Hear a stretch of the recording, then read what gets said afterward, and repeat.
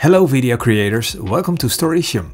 It is time for another quick Premiere Pro basics tutorial. In this episode you will learn how to save effect presets, how to remove the presets, how to export the effect presets and how to import them. You can skip forward to one of these timestamps if you only want to see a specific part. Okay, let's now jump straight into Premiere and I'll show you how it's done. Inside Premiere I've already got this clip on the timeline and to show you how to save a preset I will first add one effect to this clip. For this example, I will add the leave color effect. I will apply this one to the clip and then head over to the effect controls panel. This effect allows you to isolate one of the colors in your footage, and for this demo I'm going to select the yellow color. And then I'll randomly change some of the settings of the effect. I will increase the amount of decolor and also play around with the tolerance. Okay, that's good enough for this demo. Let's say that we want to save and reuse this same effect on other clips and in other projects. Well, that's the moment where you might want to save your effects as a preset. You can save one or multiple effects inside one single preset. If you want to include multiple effects in your preset, then hold the Ctrl key and then include or exclude effects with the left mouse button. But for now, we'll just go for the leave color effect, right click on the effect and then select Save Preset. Then a small window will pop up where you need to specify some settings for your preset. First of all, you can name your preset here if you like. And second, you need to select a type. This option is only important if you have used keyframes for your effect. In this case, we didn't use them, so for now we'll just leave this to scale. Later on I will explain how this works if you have used keyframes. And finally, there's also an option to add a description to your preset, but this is not mandatory. Now we can click on OK to save the preset and then head over to the effects panel and then go into the preset section. Here you'll find the preset that we just saved. The preset now contains all the settings that we applied to the effect and we can now simply drop this onto another clip. Let's take this second clip that I've got ready on the timeline. If I drag the preset over to the clip, all the settings are applied immediately. Okay, so how does this work if you do use keyframes? Well, to demonstrate this I've got 4 copies of the same clip on the timeline. The first one is a little shorter, but you'll see why in a minute.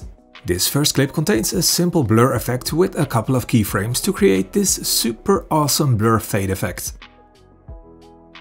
Okay, let's say we want to save this as a preset, so I'll right click on the effect and then select Save Preset. As you can see here, we've got three type options to choose from, Scale, Anchor to Inpoint and Anchor to Outpoint. To save you some time, I've already made a preset with each of these options as you can see here.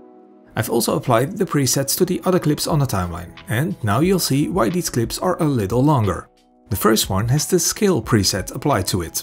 So if I now select this clip, you can see that the keyframes are spread throughout this clip, and as you saw, because of that, the effect animation is now also slower. The second clip has the anchor to inpoint preset applied to it. With the clip selected, you can now see that this one has the keyframes anchored to the in point. But notice that anchoring does not change the timing or space between the keyframes, even though the clip is longer. And the same applies to the third clip which has the anchor to outpoint preset applied to it. The keyframes are at the end of the clip and the timing between the keyframes did not change. Next I'll apply all three presets to the last clip and show you that you can apply multiple presets of the same effect to one clip and also so you can see the difference here in the effect controls panel.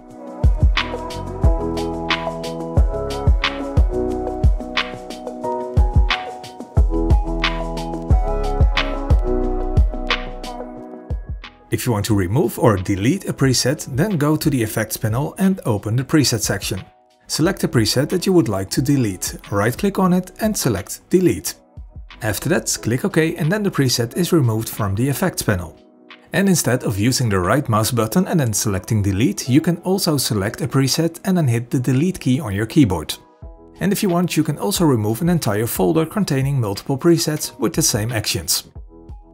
But be aware that removing a preset does not remove it from your footage where you applied it to. If you want to remove this from your footage, then select the clip and head over to the Effect Controls panel. Then select the effect that you would like to remove and then hit the delete key on your keyboard. Or right click the effect and then select clear. In the final part of this tutorial I'll show you how to export and import a preset.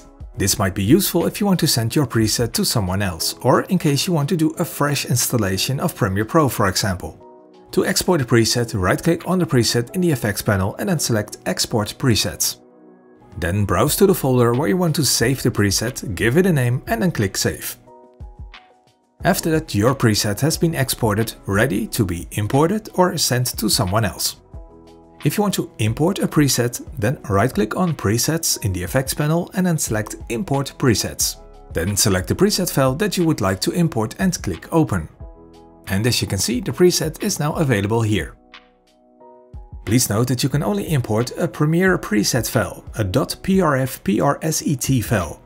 If you download a preset, it often comes as a compressed file, like a zip file for example.